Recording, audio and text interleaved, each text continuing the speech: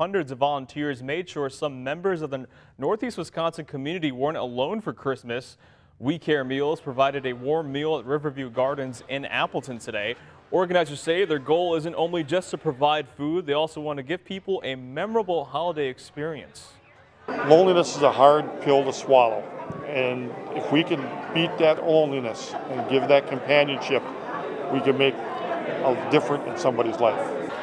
And We Care Meals has provided meals for over 30 years now.